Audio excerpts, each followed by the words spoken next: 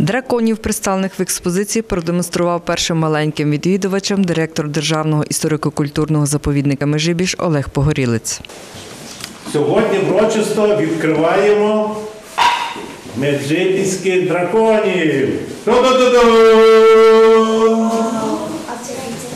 Дивіться до всіх сторін, бачите?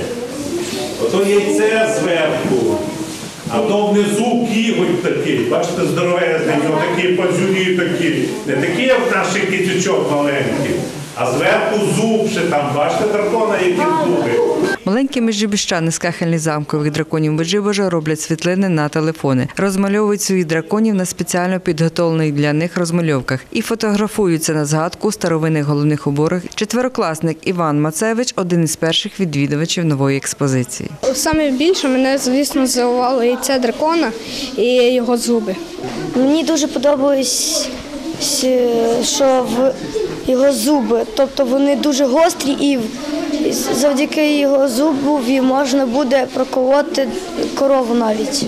На території Меджибіського заповідника археологічні дослідження ведуться 50 років, розповідає його директор Олег Погорілець. Каже, археологи протягом кількох років знаходили деталі печей і камінів із зображеннями драконів. У нас виявляється, вже ми маємо чотири дракона, які були знайдені на території замку. До новорічних різдвяних свят ми вирішили нашим маленьким відвідувачам зробити такий подарунок, показати цих драконів. Самі кахлі, де зображено дракони, це автентичні речі з 15-17 століть.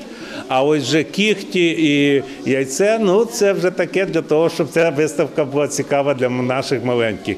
Олег Погорілець додає, аби маленькі відвідувачі запам'ятали експозицію, їм підготували розмальовки. І коли ми робили цю виставку, ми вирішили, що кожен маленький відвідувач повинен принести з Меджибіського замку свого дракона додому.